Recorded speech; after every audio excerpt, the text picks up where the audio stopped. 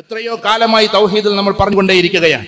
പക്ഷേ എപ്പോഴെങ്കിലും ഒരു അത്യാവശ്യമുള്ള ഘട്ടം വരുന്ന സമയത്ത് അല്ലെങ്കിൽ ആവശ്യമില്ലാത്ത ഘട്ടത്തിലും തഹജുദിന്റെ ആ വേളയിലെങ്കിലും നമ്മൾ അള്ളാഹുവിനെ അള്ളാഹ് എന്ന് വിളിക്കുന്നതിൽ നമുക്കൊരു അസർ ഉണ്ടാകുന്നുണ്ടോ തൗഹീദിന്റെ വിവക്ഷയിൽ മഹാന്മാരായ ഉലമാക്കൾ എഴുതി വെച്ചിട്ടുണ്ട്. അതിന്റെ ഖുർആന്റെ വ്യാഖ്യാനം പറഞ്ഞുകൊണ്ട് അള്ളാഹുവിന് ദാത്തുണ്ട് അള്ളാഹുവിന് സിഫാത്തുണ്ട് അള്ളാഹുവിന് അഫാലുണ്ട് അള്ളാഹുവിന് ആസാറുണ്ട്. ഇത് മുഴുവനുണ്ട്. അത് നമ്മൾ മനസ്സിലാക്കിയേ പറ്റൂ. എന്ന് വെച്ചാൽ ഇപ്പൊ ഉദാഹരണത്തിന് അള്ളാഹുവിന്റെ പേരാണ് ഷാഫി. അത് അള്ളാഹുവിന്റെ ദാത്തിൽ നിന്ന് പുറപ്പെട്ട പേരാണ്. ദാത്ത് എന്നതിന് ശരീരം എന്ന് വേണമെങ്കിൽ നമുക്ക് അർത്ഥം കൊടുക്കാം. പക്ഷെ ശരീരം എന്ന് നമ്മൾ പറഞ്ഞാൽ അത് കുറഞ്ഞു പോകും. ദാത്ത് തിരു സത്തയിൽ നിന്ന് പുറപ്പെടുന്ന തൊണ്ണൂറ്റി ഒമ്പത് ഇസ്മുകളെ നമ്മളെ പഠിപ്പിച്ചിട്ടുണ്ട്. അപ്പൊ ദാത്തിൽ നിന്ന് പുറപ്പെടുന്ന ഇസ്മാണ് ഷാഫി. ആ ഷാഫി എന്നത് ഫെയിലാകുന്നത് എപ്പോഴാണ്? നമുക്കൊരു അസുഖം വരുമ്പോ ഉദാഹരണത്തിന് നമുക്കൊരു വേദന പുറപ്പെടുന്നു. ആ സമയത്ത് ഈ വേദന ആരിൽ നിന്നാണ് വന്നത്? അത് അള്ളാഹുവിന്റെ ഭാഗത്ത് നിന്നാണ്. അതുകൊണ്ട് എനിക്ക് എന്റെ കൃത്യമായി അള്ളാഹുവിനെ വിളിച്ചേ പറ്റൂ. അള്ളാഹു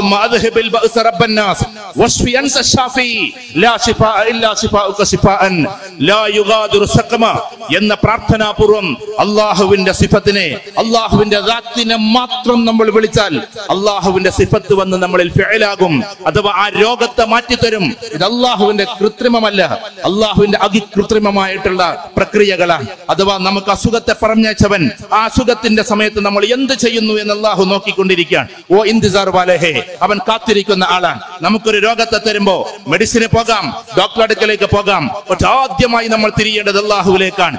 ഡോക്ടറുടെ ഉള്ളിൽ അഥവാ ഹോസ്പിറ്റലിന്റെ ഉള്ളിലെ ഓപ്പറേഷൻ തിയേറ്ററിന്റെ മുകളിലും നമ്മൾ പ്രാർത്ഥിക്കേണ്ടത് അള്ളാഹുവിലേക്കാണ്. ഈ ഡോക്ടർ എന്നെ രക്ഷപ്പെടുത്തുമെന്നതല്ല.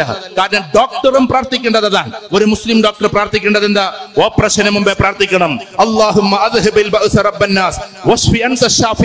ലാ ശിഫാ ഇല്ലാ ശിഫാഉക ശിഫാഅൻ. ലാ യുഗാദിറു സഖമ.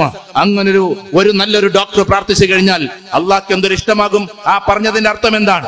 ആളുകൾക്ക് പ്രയാസങ്ങൾ അയക്കുന്ന അള്ളാഹുവേ വശ്ഫി നീ ഇതിനെ ശിഫയാക്കും. ലാ ശിഫ ഒരു ഇല്ലാ ശിഫാഉക നിന്റെ ശിഫയല്ലാതെ. എന്ന് പ്രാർത്ഥിക്കുമ്പോ അയാളുടെ കത്രികകൾക്കിടയിലൂടെ മാലാഖമാരെ പറഞ്ഞയക്കാൻ കഴിവുള്ളവനാണ് ഏകചിത്രാധിപതിയായ അള്ളാഹു സുബ്ഹാനഹു വതആല അപ്പൊ നമുക്കൊരു അസുഖം വരുമ്പോ നമ്മൾ ആ ഭാഗത്ത് പിടിച്ചുകൊണ്ട് പറഞ്ഞേക്കണം. യാ ഷാഫി എന്ന്. അല്ലാഹുമ്മ അദ്ഹിബിൽ ബഅസ റബ്ബന്നാസ് വശ്ഫി അൻത ഷാഫി.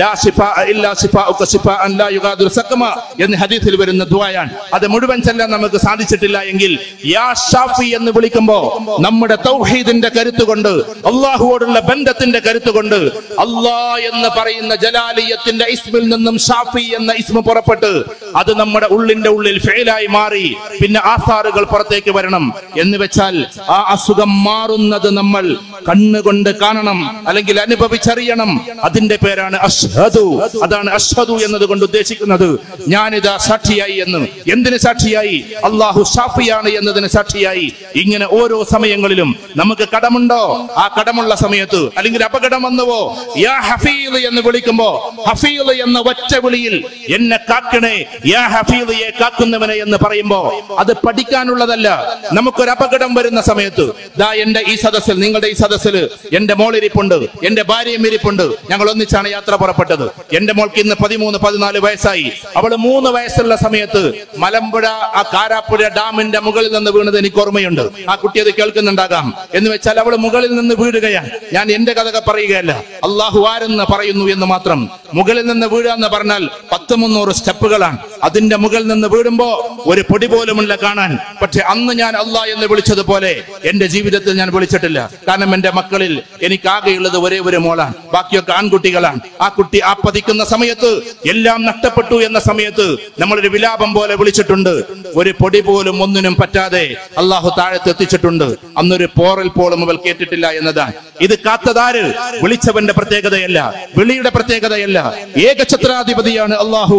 അവനിൽ വിശ്വസിച്ചു കഴിഞ്ഞാൽ ഇത്തരം മിറാക്കിൾസ് ഉണ്ടാക്കാൻ അവന് സാധിക്കുമെന്ന അത്ഭുതകരമായ വിശ്വാസമാണ് നമുക്കുണ്ടാകേണ്ടത്. ആ ഒരു വിശ്വാസത്തിനെ നമ്മുടെ വീട്ടിന്റെ അകത്തേക്ക് കൊണ്ടുവന്നാൽ നമ്മുടെ മക്കൾക്കും നമ്മുടെ ഭാര്യക്കും നമ്മുടെ മറ്റുള്ളവർക്കും അതിന് നമുക്ക് കൊടുക്കാൻ പറ്റിയാൽ വിശ്വാസത്തിൽ അധിഷ്ഠിതമായ ഒരു ജീവിതം നമുക്ക് മുന്നോട്ട് കൊണ്ടുപോകാൻ പറ്റുമെന്നാണ്. അല്ലാതെ വെറുതെ വീടിന്റെ വലിപ്പം കൊണ്ടോ സാഹചര്യത്തിന്റെ വലിപ്പം കൊണ്ടോ ഇന്നാളുടെ മകളെ കല്യാണം കഴിച്ചു എന്നതുകൊണ്ടോ ഇന്നാളുടെ മകളാണ് എന്റെ മകനെ കെട്ടി കിട്ടിയത് എന്ന് പറഞ്ഞതുകൊണ്ടോ നമ്മുടെ വീട് ശാന്തി ഉണ്ടാവുകയില്ല അങ്ങനെ സമ്പന്നരെ നോക്കി നടക്കാനും ബിസിനസ് ഉള്ളവരെ നോക്കി നടക്കലുമല്ല നമ്മുടെ ജോലി.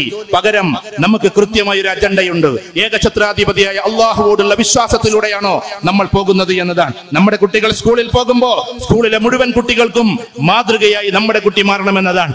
അങ്ങനെ വരണമെങ്കിൽ വീട്ടിൽ നിന്നും ആ ഇഞ്ചക്ഷൻ നമ്മൾ കൊടുത്തേ പറ്റൂ എന്നതാണ്. അപ്പൊ വീട്ടിന്റെ ഉത്തരവാദിയായ ഓരോ ആളുകളും ആ ഒരു അന്തരീക്ഷത്തിലേക്ക് നമ്മുടെ കുട്ടികളെ കൊണ്ടുപോവുക എന്നതാണ്. ആ അന്തരീക്ഷം സൃഷ്ടിക്കണമെങ്കിൽ നമുക്ക് അങ്ങനെ ഒരു വിശ്വാസം ഉണ്ടാകണം. ആ വിശ്വാസത്തിൽ അധിഷ്ഠിതമായ ഒരു ജീവിതം നമ്മുടെ കുട്ടികൾക്ക് നമ്മൾ പകർന്നു കൊടുക്കണം. അങ്ങനെ പകരുമ്പോ അവരിൽ നിന്ന് പിന്നീട് അത് പകർന്നും നുകർന്നും കൊടുക്കാൻ അവർക്ക് സാധിക്കുമെന്നതാണ്. എന്തിനു വേണ്ടിയാണ് കെ എൻ എമ്മും ഐ എസ് എമ്മും ഒക്കെ ഇങ്ങനത്തെ പരിപാടികൾ വെക്കുന്നത് എന്ന ചോദ്യത്തിന് ഒരു ഉത്തരമുണ്ട് ആ അന്തരീക്ഷത്തെ നിലനിർത്താനാണ്. ഞാൻ പറയുന്ന കൊണ്ടും നിങ്ങളുടെ വീട്ടിൽ ചിലപ്പോൾ വാട്സപ്പ് ഉണ്ടാകും ഫേസ്ബുക്ക് ഉണ്ടാകും. ഇതൊക്കെ തിന്മയുടെ ഒരു വക്കേ നമ്മൾ കടിച്ചിട്ടുള്ളൂ.